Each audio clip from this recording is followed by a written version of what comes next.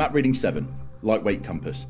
It is essential as a soldier that you are able to use the lightweight compass effectively to take and plot grid and magnetic bearings.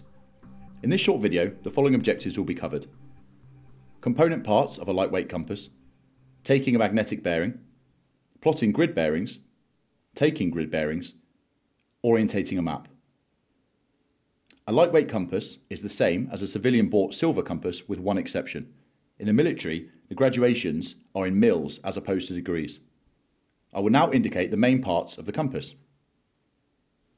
Base plate, direction of travel arrow, compass capsule, reading scale, index line, orientating lines with red north arrow, compass needle with red north end, luminous patches. A point to note, when handling a lightweight compass, any electrical or metal equipment will affect its accuracy. So for example, it is advised to use the compass 3 metres away from personal weapons and up to 50 metres clear of armour or artillery. This is how to use the lightweight compass to take a magnetic bearing. Placing the compass horizontally in your hand, point the direction of travel arrow towards your desired target and look at where the red end of the compass needle is pointing. This is the direction of the magnetic North Pole. With the other hand, Turn the compass capsule until the capsule red arrow is aligned underneath the red end of the needle and the compass needle is parallel with the orientating lines. The compass is now set correctly, red to red. To get the bearing, simply read the number against the direction of travel arrow.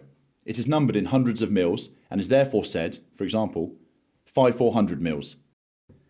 To take a grid bearing from your location circled in red to a target location, you place the long side of the compass base plate against your location and pivot the compass until the direction of travel arrow and the same side of the compass base plate is pointing towards your target. Twist the compass capsule till the orientating lines are parallel with the north-south grid lines and read off the bearing. To take a grid bearing from two locations circled in red, simply place the long side of the compass base plate against the two points, ignoring the compass capsule so the red north arrow points up the map to the grid north and on the orientating lines are parallel with the north-south grid lines. Lastly, to orientate a map with a lightweight compass, place the compass on your map. Turn the compass capsule until the reading scales read zero and the red north arrow points along the direction of travel arrow.